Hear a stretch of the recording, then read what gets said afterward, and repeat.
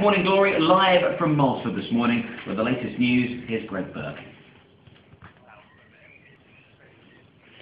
So here we are in the Beetle and Wedge. As you can tell, it's a horrible, horrible atmosphere. Horrible place to be.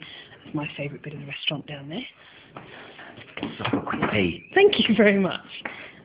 Now, to give you a bit of an idea of the view situation, I mean, awful, awful, awful. Um, just stick this out the window. Look at that. All the little duckies. Nice little spot for summer there. Nice little place to moor your boat.